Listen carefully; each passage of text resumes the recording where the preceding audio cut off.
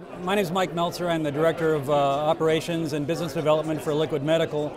Um, we're here today to basically to demonstrate our uh, primary um, HIE. Uh, we have three operational HIEs in place right now. Uh, the one we want to talk about today is an enterprise-based uh, model. It's EHR neutral. Uh, it provides coordination of care and cost containment driven and uh, it was developed for our Northern California Advantage IPA organization, which contains approximately 180 physicians right now.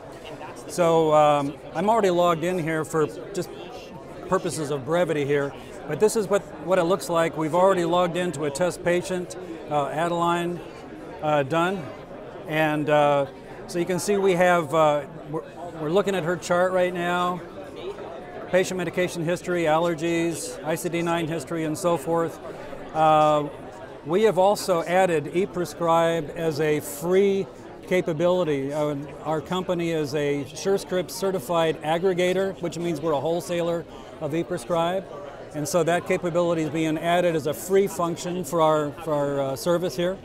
Um, everything else is pretty much uh, you know, if, if you got an HIE, you should expect to be able to have interoperability. You should have the ability to communicate with other physicians across platforms, other EHRs. I talked to you a minute ago about the fact that we started out as an EMR company. That is in no way a limitation for our HIE. We have multiple uh, EHR companies, EMR companies, if you will, who are using this software. Okay, so uh, and secure messaging, we connect with HealthVault for a patient portal uh, capability so patients can see their records in a, in a, secure environment.